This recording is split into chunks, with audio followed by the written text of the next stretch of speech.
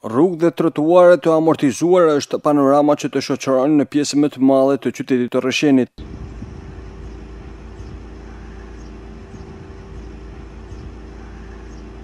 Situata e njëjtë paraqitet si në qendër ashtu dhe në zonat periferike, ndërsa kjo problematikë vijon prej kohësh duke u kthyer në shqetësim për këmbësorët dhe drejtuesit e automjeteve.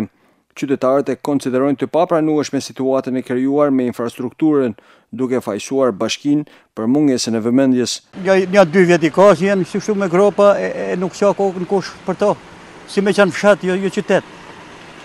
Këtu katastrofë, t'i thush qytet, të paguajsh taksat e të paguajsh gjitha detyrimet që që i kërkon shteti dhe në fund fundit Të dali rruga, rruga si, si me qenë rrugë fshati e, ma, e ma zi. Për zotin bashkia seriozisht nuk e ka marrë për këtë punë. Vjen ka i herë, ka i herë n'vjet, banë ka i riparim vogël, po nuk duket kërkun. Riparim veç sa me la faqet. Derisa kërkohen taksat, rrugët t'i kemi, t'i kemi si rrugët europiane, jo, jo, jo, jo, jo, në mes qytetit, gropa një, një gjysë metre. Krijon shumë probleme, se ne, ne amortizohet makina, prishet makina. Ne ne e marrim koston e këtyre punëve. Ne e kemi koston. Ka tash 12 vjet që e ka e majta pushtetin këtu në Mirditë.